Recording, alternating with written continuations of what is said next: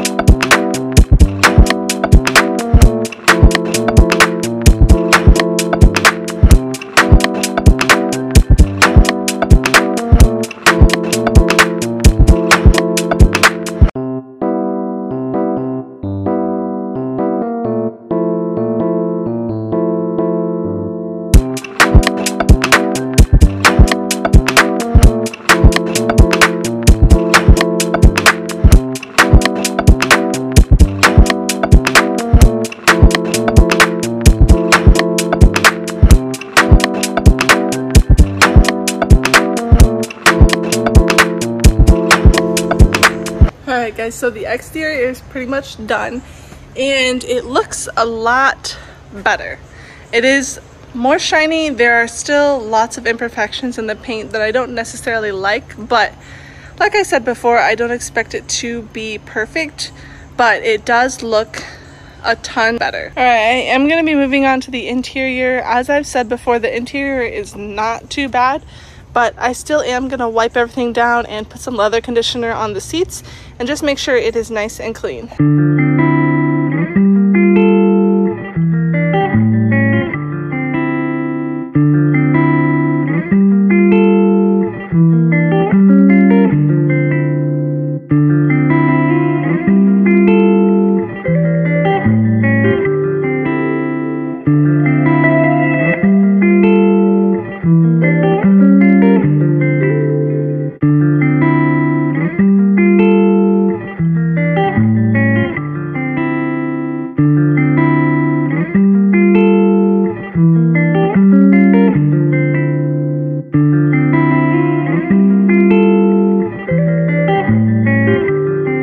Thank you guys so much for watching this video as I clean my new car. If you want to see more content coming soon on my E55, make sure you go check it out. And if you want to see before pictures of how dirty it was, go back to prior videos and check those out. Make sure you guys hit the like button and subscribe to my channel for more.